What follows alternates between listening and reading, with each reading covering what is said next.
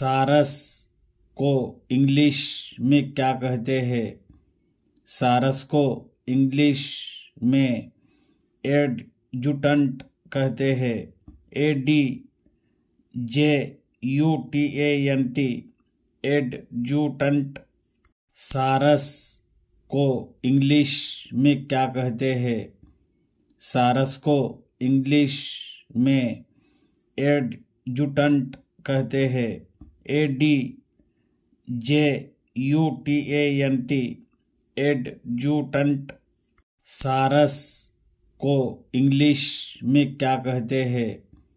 सारस को इंग्लिश में एडजुटेंट कहते हैं।